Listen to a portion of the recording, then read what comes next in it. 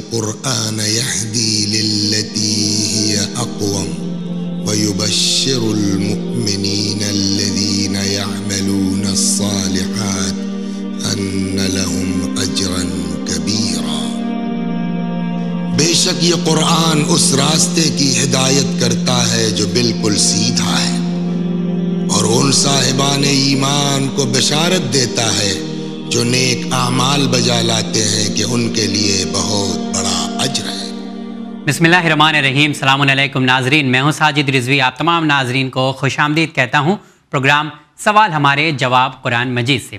جی ہاں ناظرین، آج کے پروگرام میں ہم بات کریں گے والدین کے سلسلے میں۔ والدین کی ذمہ داری اولاد کے اوپر کیا ہے؟ اس سلسلے میں بات کرنے کے لیے آئیے بڑے ہی احترام کے ساتھ ہم اپنے پروگرام میں استقبال کرتے ہیں۔ حجت الاسلام والمسلمین عالی جناب مولانا سید محمد قیصر صاحب قبلہ کا۔ السلام علیکم۔ وعلیکم السلام ورحمۃ اللہ وبرکاتہ۔ کیسے ہیں آپ؟ اللہ کا کرم ہے شکر ہے خدا وند عالم کا۔ جی بہت شکریہ کیونکہ ان آیتوں کا حوالہ میں چاہتا ہوں جی۔ جو والدین کے سلسلے میں قرآن مجید میں بتائی گئی ہے۔ اس سے پہلے کے ایپیسوڈ میں بھی کئی بار ہم لوگوں نے بات کیا ہے تو سارے جوابات جو بھی ہم اس پروگرام میں حاصل کرتے ہیں وہ قرآن مجید سے حاصل کرتے ہیں۔ تو سب سے پہلا سوال جو میں آپ سے پوچھنا چاہوں گا کہ اولاد کے درمیان عدل و انصاف سے پیش آنے کے بارے میں قرآن مجید میں کچھ آیتیں آئی ہیں نازل ہوئی ہیں۔ دیکھیں اس سلسلے میں یقیناً قرآن کریم جو ہے وہ مکمل دستور ہے اور کوئی ایسی چیز نہیں ہے کہ جو قرآن کریم میں نہ ہو۔ جی۔ اولاد کی تربیت کے سلسلے میں بھی والدین کو آگاہ کیا ہے اور انہیں ہر اعتبار سے متوجہ کیا کہ خبردار تم اپنے خیال کے اعتبار سے کسی چیز کی فکر نہ کرنا رزق اللہ دینے والا ہے جی۔ اور حیات خدا دینے والا ہے۔ لہٰذا اس سلسلے میں عدل سے کام لینا اور انصاف سے کام لینا نا انصافی نہ کرنا جی۔ ان کے ساتھ کسی بھی مرحلے میں۔ یہ کلیہ قرآن نے پیش کیا سورہ معدہ کی آٹھویں آیت میں اللہ ارشاد فرماتا ہے کہ یا الذین آمنو کونوا قوامین للہ شہداء بالقسط ولا یجرمنکم شنآن قوم علی اللہ تعدلو اعدلو هو اقرب للتقوی۔ یہ پروردگار عالم فرماتا ہے کہ دیکھو اے ایمان والو ایسے بن جاؤ کہ احکام کے پابندی کرنے میں جو ہے وہ ہر وقت تیار رہو۔ اور انصاف کی گواہی دینے والے ہو جاؤ۔ اور دیکھو کسی قوم کی دشمنی تم کو اس بات پر آمادہ نہ کرے کہ تم عدل نہ کرو انصاف نہ کرو۔ دیکھو عدل سے کام لو انصاف سے کام لو یہی طریقہ تقوا سے قریب ہے۔ اعدلو ہوا اقرب للتقوی انصاف سے کام لو کہ یہی طریقہ تقوا سے پرہیزگاری سے۔ اگر اس سے ہٹ گئے تو پھر وہ تمہیں اولاد کی تربیت ہو یا کسی اور چیز کی وہاں تم عدل سے انصاف سے کام نہیں لے سکتے ہو۔ تو اس کا مطلب یہ ہوا کہ خدا وند عالم ہر وہ عمل کے جو تم اپنے اولاد کے لیے کرو انصاف کا دامن نہ چھوٹنے پائے۔ چاہے چھوٹی ہو چاہے بڑی ہو یا مثلاً- ہو یا بیٹا ہو۔ مثلا اگر تم چاہتے ہو کہ اس کی پرورش کرو تو اسے حق کے حیات دو۔ اولاد کو حیات کا حق دیا گیا ہے۔ اس سلسلے میں خدا پھر فرماتا ہے کہ دیکھو ولا تقتلوا اولادکم تم اپنے اولاد کو قتل نہ کرو خشیت املاقن رزق یا دولت کے جو وہ خوف کی بنا پر۔ نحن نرزقہم ہم جو ہے وہ ان کو بھی رزق دیتے ہیں تمہیں بھی رزق دیتے ہیں۔ حق حیات کے بارے میں اللہ نے جی۔ انصاف سے کام لینے کا حکم دیا۔ جسمانی تربیت کے سلسلے میں جی۔ کہ اس کی تربیت دیکھو اس میں بھی بخل سے کام نہیں لینا۔ جیسا کہ آج ہوتا ہے کہ بہت سی مائیں اپنے بچوں کو دودھ نہیں پلاتی ہیں۔ یہ حق جسمانی تربیت دی ہے قرآن کریم نے اور کہا ہے کہ دیکھو والوالدات یرضعنا مائیں اپنے بچوں کو دودھ پلائیں۔ حولین کاملین دو مکمل سال دو مکمل سال۔ یعنی دو سال دو تک سال تک، مکمل طور سے جی۔ ان کو دودھ پینا یہ خدا نے حق دیا ہے بچوں کو اچھا یہ ڈیوریشن بھی لکھا ہوا ہے قرآن مجید قرآن کریم میں باقاعدہ طور سے۔ اسی طرح سے مالی حمایت کے سلسلے میں بھی ان کی مالی حمایت کرو کپڑا گھر مکان ان سب تمام چیزوں میں دیکھو عدل سے کام لینا۔ عدلو عدل سے کام لینا کہ اقرب و تقوی کہ یہ جو تقوی سے قریب ہے اخلاقی تربیت کے سلسلے میں بھی کہا ہے۔ دیکھو المال والبنون مال اولاد۔ زینت الحیات دنیا یہ دنیاوی زندگی کی زینت ہے۔ والباقیات الصالحات، خیر اور جو نیک ہے، عمل ہے، وہ بہتر ہے۔ اللہ کے نزدیک ثواب کے اعتبار سے اور عمل کے اعتبار سے۔ تو جی۔ قرآن کریم نے اولاد کی تربیت کے سلسلے میں عدل سے کام لینے کے سلسلے میں بہت ہی عمدہ بیان دیا ہے اور بہت ہی عمدہ نظام دیا ہے کہ جی، کسی۔ چیز میں نا انصافی بہترین آیتیں آپ نے ہمارے سوال کے سلسلے میں۔ دوسرا سوال جو میں کرنا چاہوں گا کہ اکثر دیکھا جاتا ہے کہ ماں باپ صحیح قدم نہیں اٹھاتے ہیں جس کی وجہ سے گھروں میں کئی بار جو ہے جھگڑا لڑائی ہو جاتی ہے دراریں پڑ جاتی ہیں۔ تو اس سلسلے میں بھی کیا کچھ آیتیں آپ بتانا چاہیں گے؟ فار ایگزامپل کہ ماں باپ جو ہے جلدی بٹوارا نہیں کرتے ہیں گھر کا۔ وہ یہ سوچتے ہیں کہ کہیں ہمارا اختیار نہ ختم ہو جائے یا ہماری طاقت نہ چلی جائے۔ جی اچھی بات کہی آپ نے۔ اور اس سلسلے میں بھی یہ میں عرض کروں کہ قرآن کریم نے کئی آیتوں میں ماں باپ کو میراث کے سلسلے میں اور یہ کہ اپنے مال کے بارے میں وصیت کر دیں۔ توجہ دلائی ہے۔ کہ دیکھو خبردار تمہارے بعد اولاد میں جھگڑا نہ ہو اختلاف نہ ہو۔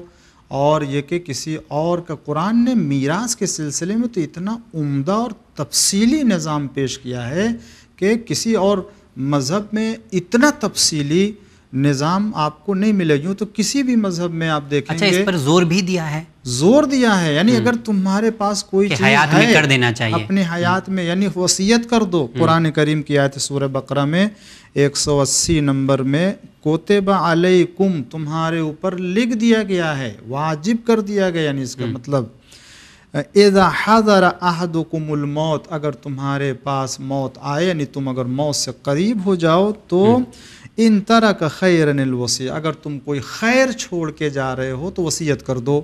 اچھا۔ للوالدین والاقربین اور ان کے لیے کہ جو قرابت دار ہیں۔ ان سب کے لیے اس لیے کہ یہی وہ ہے کہ جو حق المتقین متقین کے لیے حق ہے۔ تو یعنی لکھ کے جانے کے لیے کہا ہے زبان سے کہنے کے لیے نہیں۔ البتہ کوتبہ یہاں پر جو ہے وہ وجوب اور فرض کے معنی میں آتا ہے اگرچہ کوتبہ ہی سے ہے کتابہ لکھنے ہی کے معنی میں ہے لیکن یہ تاکید ہے اس بات کی۔ جیسے روزے کے لیے کہ کوتبہ علیکم السیام تمہارے اوپر روزہ لکھ دیا گیا ہے۔ اچھا۔ اسی طریقے سے یہاں پر کوتبہ علیکم تمہارے اوپر لکھ دیا گیا ایسا نہیں کہ کہہ دیا کہہ دیا بعد میں پرابلم ہوتی ہے ان سے کہا وصیت تھا کرنے۔ اب اس کے بعد اگر آپ سورہ نساء کی آیت میں آپ نے بہت کم وقت دیا ہے ورنہ یہاں پر کئی آیتیں آپ پیش کر سکتے کے سلسلے کی جو آیتیں ہیں سورہ نساء میں آیت نمبر سات آٹھ نو دس گیارہ۔ یہ مال کی تقسیم کے سلسلے میں ہے۔ ناظرین اگر آپ واقع تفصیل سے دیکھنا چاہتے ہیں قرآن میں سورہ نساء کی سات آٹھ نو دس گیارہ نمبر کی آیتیں دیکھیں۔ پورے تفصیل کے ساتھ مال کی تقسیم کے بارے میں قرآن نے بتایا کہ بیٹے کو کتنا ملے بیٹی کو کتنا ملے۔ اور قریبی رشتہ دار ہیں ماں باپ ہے پہلے طبقے میں دوسرے طبقے میں۔ اور جو لوگ آپ کے خاندان میں ہیں ان سب کا فرض باقاعدہ بیان کیا گیا ہے۔ جی۔ اور یہ کہتے کتنا حصہ بنتا ہے یہ بھی بیان کیا گیا تو ہے۔ کیٹیگرائز کیا ہے کہ لڑکی کا کتنا ہے لڑکے کا کتنا ہے باقاعدہ طور باقاعدہ طور سے بیان کیا گیا اور کہا گیا کہ دیکھو جو ہے وہ لڑکی کے دو برابر جو ہے وہ لڑکے کا ہوگا۔ جی۔ اور اس طریقے سے جو باقاعدہ لڑکی اور لڑکے کے لیے میرے خیال سے اس کو اگر جو ناظرین حاصل کرنا چاہتے ہیں اس سوال کا جواب وہ کہ اپنے ایریے کے عالم دین سے رجوع کر سکتے ہیں ہاں کہ کس طرح سے تقسیم کیا جا سکتا ہاں ہے۔ کیونکہ بہرحال قرآن کی آیت ہے تو قرآن میں کلیات کو اور ایک مجموعی صورتحال کو بیان کیا جاتا ہے جزیات کو نہیں۔ تو اس کو پورے طور سمجھنے کے لیے کسی نہ کسی عالم کی تو رجوع کریں تفسیر جو دیکھیں اس میں ایکسپرٹ ہو بہت سے بہت بہت شکریہ مولانا صاحب۔ جی۔ میں ایک سوال اسی میں میں جوڑنا چاہوں گا جیسا کہ میراث کے سلسلے میں بات ہو رہی ہے۔ کہ اکثر ہم یہ سوچتے ہیں کہ جو بٹوارا ہوگا وہ کبھی حیات میں نہیں ہوگا ماں باپ کے۔ ہمیشہ کب ہوگا؟ جب ماں باپ ہماری زندگی سے چلے جائیں گے گزر جائیں گے اللہ کے پاس چلے جائیں گے۔ اس صورت حال میں کیا کرنا چاہیے یا کچھ آیتوں کا حوالہ آپ دے سکتے ہیں؟ دیکھیں اس سلسلے میں تو احکام ہے اور واضح ہے کہ میراث کی تقسیم صاحب مال کے دنیا سے جانے کے بعد ہی ہے۔ اور قرآن کریم نے اس کی طرف اشارہ کیا ہے حتیٰ وہ کہ جو دنیا میں پیدا ہوا پہلی بار یعنی پہلا دن بھی ہے اور بچہ دنیا میں آیا بلکہ حتیٰ شکم میں بھی ہے تو اس کا بھی خیال رکھا گیا ہے۔ لیکن مرنے کے بعد ہی۔ اچھا تقسیم پراپرٹی کی بعد میں ہے۔ ہاں لیکن لکھنا پہلے ہے بتانا پہلے۔ ہاں لکھنے کے لیے اب اس میں کیا ہے ہاں۔ کہ انسان اگر کسی خصوصی حق کو کسی کو دینا چاہتا ہے تو دے سکتا ہے۔ تو وہ دے سکتا ہے اپنی کوئی زندگی ایسا نہیں ہے کہ میرے مرنے کے بعد ہی یہ تمہارا ایسا ہے۔ نہیں مرنے کے بعد قرآن جو کہتا ہے ہاں۔ قرآن یہ کہتا ہے کہ جب تم دنیا سے جاؤ گے تو تمہارے پراپرٹی کا مالک تمہارے قریبی رشتہ دار اولاد وہ ہوں گے جن کو قرآن کہتا ہے۔ پھر اس میں کسی دوسرے کا حق نہیں ہو سکتا ہے۔